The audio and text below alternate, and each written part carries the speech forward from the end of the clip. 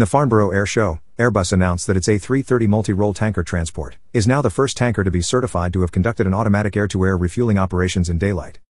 Boeing and Airbus are competing for the next phase of U.S. aerial refuelers competition. The United States Air Force operates the largest aerial refueler fleet on Earth with nearly 650 aerial refueling tanker aircrafts. The rest of the world has perhaps as many as 250 tankers, and of these 80 belong to the U.S. Marine Corps. The United States Air Force uses the Boeing KC-135 Stratotanker as its main refueler, with over 400 Stratotanker built for the U.S. Air Force. The KC-135 entered service with the United States Air Force in 1957 and has been in continuous service for over 60 years. With maintenance costs is greatly increasing on the aging aircraft, the Air Force is planning to retire them all by 2030. In order to replace the KC-135 Stratotanker, the Department of Defense in 2009 announced the KC-X competition between Boeing and a team consisting of Northrop Grumman and the European Aeronautic Defence and Space Company for a program to build 179 new KC-X aerial refueling tankers. The estimated total value of the 179 aircraft KC-X program was roughly 35 billion US dollars with all the refuelers to be inducted by 2027. In 2011, the Boeing KC-46A Pegasus tanker was selected as the winner in the KC-X tanker competition. The KC-46 is derived from Boeing's commercial 767 airframe that is able to refuel 64 different aircraft and includes all U.S. and Allied military aircraft. The KC-46 using its boom allows the tanker to transfer up to 1,200 gallons of fuel per minute, while the hose and drogue systems that is located on the plane's wing and centerline enables the KC-46 to refuel smaller aircraft with up to 400 gallons of fuel per minute. The aircraft can detect avoid defeat and survive threats using multiple layers of protection, which will enable it to operate safely in medium threat environments, and rapidly convert for med-evac and cargo.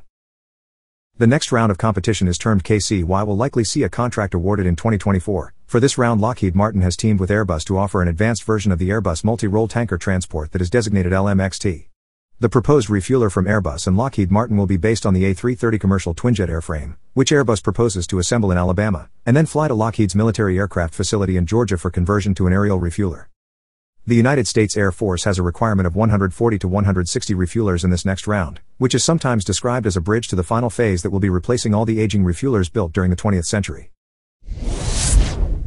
Leonardo Helicopters has begun work to establish a UK production line for the AW149 Super Medium helicopter at its facility in Yeovil, England. The company said these steps reflect the commitment towards the UK defence deal announced recently to acquire new military helicopters.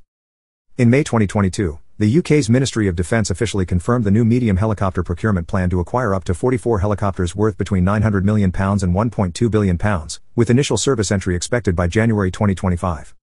The new medium helicopter program is expected to replace four rotorcraft types in the UK inventory, that includes the Royal Air Force's Airbus Puma Mark II and the Bell 412, and the British Army's Bell 212, and Airbus Dolphin fleets.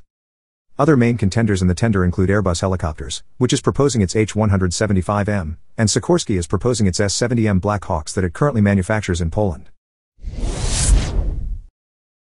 Thanks for watching, and for more updates on defense economics finance and geopolitics please subscribe to our channel.